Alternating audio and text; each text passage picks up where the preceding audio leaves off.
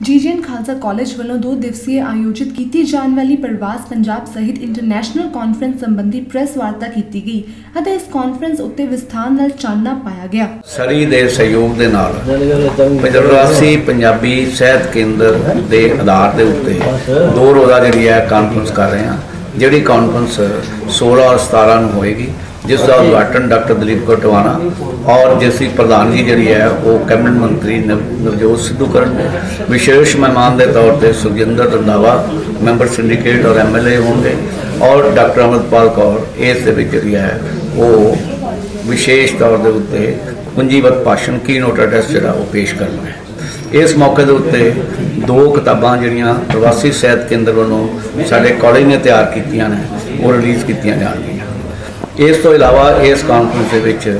30 ਤੋਂ ਵੱਧ ਜਿਹੜੇ ਨੇ ਉਹ ਪ੍ਰਵਾਸੀ ਲੇਖਕ ਜਿਹੜੇ ਨੇ ਹਿੱਸਾ ਲੈ ਰਹੇ ਨੇ ਔਰ ਕਾਨਫਰੰਸ ਦੇ ਵਿੱਚ 100 ਤੋਂ ਵੱਧ ਪੇਪਰ ਜਿਹੜੇ ਨੇ ਉਹ ਪੇਸ਼ ਕੀਤੇ ਜਾਣੇ ਨੇ ਔਰ ਉਹਦੇ ਵਿੱਚ ਉਹਨਾਂ ਪੇਪਰਾਂ ਦੇ ਵਿੱਚ ਅਕਾਦਮਿਕ ਤੌਰ ਦੇ ਉੱਤੇ ਪ੍ਰਵਾਸੀ ਲੇਖਕਾਂ ਦਾ ਜਿਹੜਾ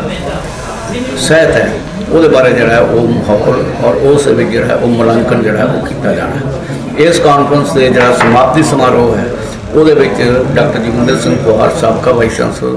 ਲੁਧਿਆਣਾ ਤੋਂ ਹਰਜੀਤ ਸਿੰਘ ਦੇ ਨਾਲ ਯੋਗੇਸ਼ ਕਪੂਰ ਦੀ ਰਿਪੋਰਟ ਚੈਨਲ 2